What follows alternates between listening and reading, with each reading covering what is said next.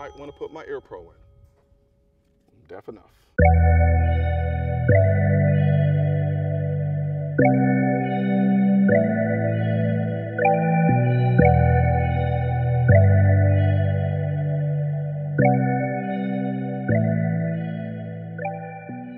When I first saw this gun and it came out, I paid it no mind.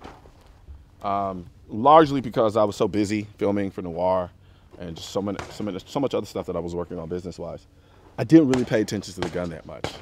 There was nothing about the gun that I saw that was really striking to me. It was something that I considered to be another Glockish style gun from a gun manufacturer that predominantly made hammer fired hammer fired guns, um, who now wanted to get into the striker fire business. Here's the thing about that though. With CZ, CZ makes phenomenal guns in the way that they make them. They make phenomenal striker, they make phenomenal hammer fired guns. Um, single action, double action triggers, metal guns. They're, they're awesome. So when I saw this, I thought it was dope. I thought it was cool for the most part. I just didn't pay attention to it. I saw it, I was like, huh, CZP-10, cool. But that's where I left it. Then the messages started coming. Colion on the war. What are your thoughts on the CZP-10? What are your thoughts on the P10C? What are your thoughts on the P10? At a certain point, I had to tell myself, I might want to look into this gun. Um, as much as I don't really kind of care about it, not because I think it sucks, but just because I didn't have the time to really care about it. So finally, I got my hands on it. Um, in hand, it's interesting because it doesn't. I'm, I'm, gonna be honest with you. It feels like an affordable gun. What I'm not saying is it feels cheap, but it feels like an affordable gun. I did look at this gun and like this is an accessible gun. This is a gun that is made well, but not overly engineered in the to the degree that I'm paying in excess of what I should be paying because of the science involved in it. It's like they looked at it, they're like, how do we make a gun that's a striker fired gun that's reliable, that looks decent, and isn't gonna break the bank. And you have the CZP-10.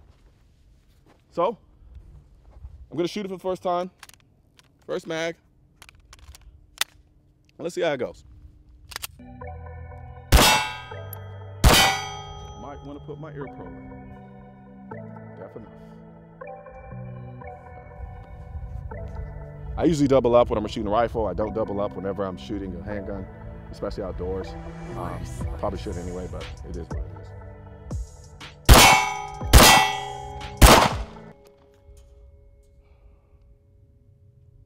I'm gonna preserve my thoughts for a split second. And I'm gonna do some more shooting.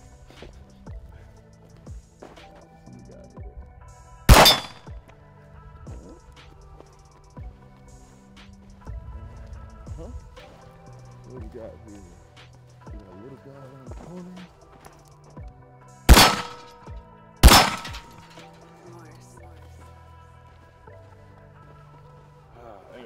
This guy.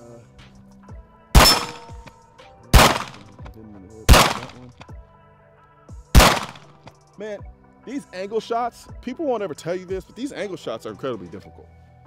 And yes, am I using that as an excuse for why I'm missing? Absolutely, but they are incredibly difficult.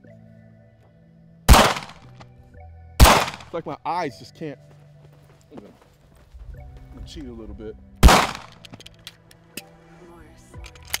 will say, this magazine drop is positive as hell.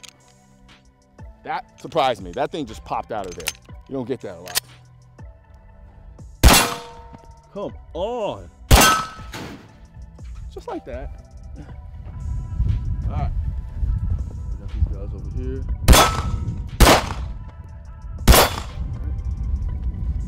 All right, so the trigger. I like it. It isn't Glock-esque. It isn't like a, it's different. It looks like a Glock trigger, but it doesn't feel like a Glock trigger. Um, it's very positive on the reset. It, it, it, it kind of bounces back at you with a little more force than normal. Most guns kind of slide into the reset. This one kind of pounces into it. Um, the take up is really smooth. Honestly, the take up feels much like the Gen 5 Glocks take up. Um, if I'm gonna have to compare it to a trigger right now, it's close to that.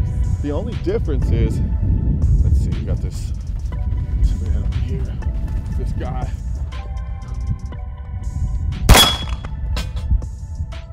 I mean, I feel like I, there goes a flyer. I feel like the trigger on this gun has a little bit more of a definitive wall and it's a shorter trigger.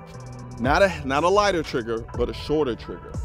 And another thing, this grip texturing, even though it's very Glock Gen 4-esque, I mean, essentially it is Gen 4 Glock texture. I feel like they've done a better job at it though. I feel like, and the reason why though, is because of the grip texturing on the back slide, on the back of the, the back grip. If you notice here, it kind of has this, they're almost at an angle. And so what it does, it creates this kind of lock-in effect on the back of the gun where I tend to experience most of the sliding in my hand and not so much on the side. But here, it literally just, it just forces your hand into the gun. And I love it. The gun doesn't want to ride up, it doesn't want to slide. And the beautiful thing about that is from a concealed carry standpoint, you don't have to deal with this part scraping against your skin. It's only this part, and this part is actually a lot smoother. But this part here has this kind of angled texturing that, that kind of locks in with your hands, almost like a cheese grater. Um, but yet it's still not uncomfortable. And of course you have the texturing up here, which I think is phenomenal. Yeah, this trigger is better than the one on the Gen 5 Glock, just because it does a better job at, I want a headshot. There we go. All right, what do we have here? Oh, we got a gang of them. I got a whole selection. Ooh. Like that, I'm out of bullets. Always, always go out of bullets on the best shots. CZP 10C, first two mags. I gotta say, it's it's a very impressive gun. I like it a lot. Um, it's definitely a gun that a lot of people, as I've already seen, are going to love. And for all intents and purposes, let's just be freaking real. It's it's it's it's based off of the Glock, which I don't have a problem with. I don't have a problem with companies doing that, as long as you're improving on these shortfalls.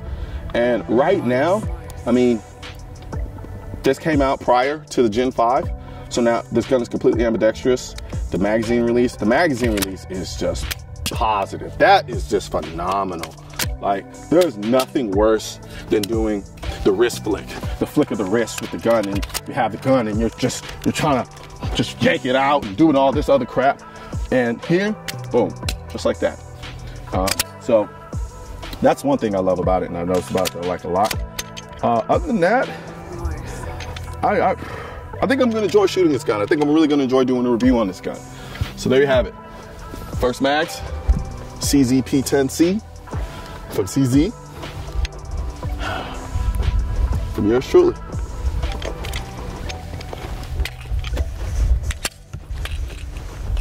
Before you go, I want to tell you about the new online store, shop MrColionNoir.com. Here you can grab your favorite pieces from the Pew Pew Life, Ammosexual, and the new Colion Noir line. You guys have been asking for the CN logo hats for a while now, and now they're here. I'm also really excited about the line of tumblers and water bottles that I've added to the store as well. Now you can show your pride for the lifestyle we all love and stay hydrated all at the same time. So click the first link in the description box and grab your gear today. What's going on folks? This is Colion Noir. If you like what you saw in this video, be sure to hit the subscribe button that should be located on the bottom left portion of the screen. I mean, come on, who you fooling? I know you want to.